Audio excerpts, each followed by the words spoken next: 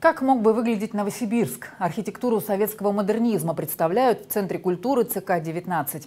На экспозиции фотографии и проекты зданий середины 20 века. Где их можно увидеть сейчас, а какие задумки так и не воплотили в жизнь?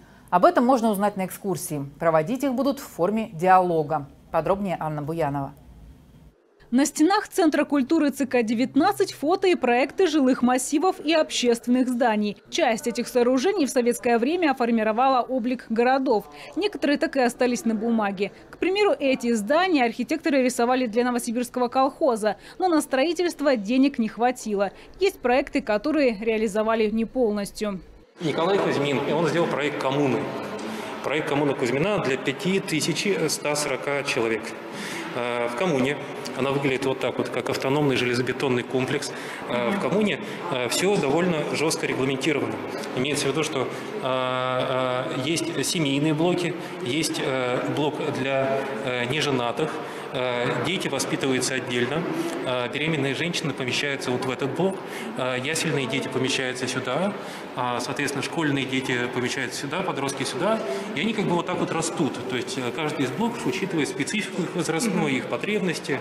Проект Кузьмина стал образцом строительства студенческих городков. Его яркий представитель – квартал Кемеровского госуниверситета. Отголоски советского модернизма есть и на улицах Новосибирска, в основном на Красном проспекте. Это оперный театр и магазин «Синтетика», здание строительного института и театр «Глобус». Есть на экспозиции чертежи изначального проекта Новосибирска. На них город похож на Париж. Почему планы застройки изменились, новосибирцам расскажут на выставке. У нас будут не экскурсии, экскурсии, потому что, ну, как бы сейчас, в принципе, нельзя там большое количество людей собирать, да, и у нас появился вот во время пандемии, мы освоили такое новое, новое направление для нас, э, называется медиация. Медиация построена на диалоге на диалоге медиатора и тех зрителей, которые пришли.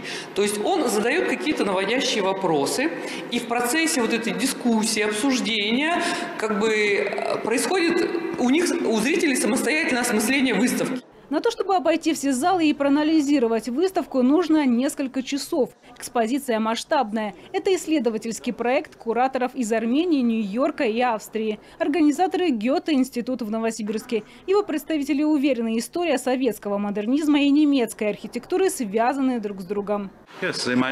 Они не идентичны, но, конечно, взаимосвязаны. У модернистской архитектуры много разновидностей. Кстати, Баухаус, это высшая школа строительства и художественного конструирования в Германии пригласили в 20-х годах прошлого столетия делать проекты жилых зданий в Советском Союзе. Правда, индивидуальные особенности между нами все же есть. Выставка «Город» с завтрашнего дня в ЦК-19 будет работать до конца января. Стоимость билетов на экспозицию снизили в два раза. Анна Буянова и Дмитрий Кан. Новосибирские новости. Спасибо, что смотрите канал «Новосибирские новости». Мы рады предложить вам интересное и полезное видео. Если хотите оперативно получать информацию о жизни города, подписывайтесь на наш канал, жмите колокольчик, чтобы не пропустить последние новости.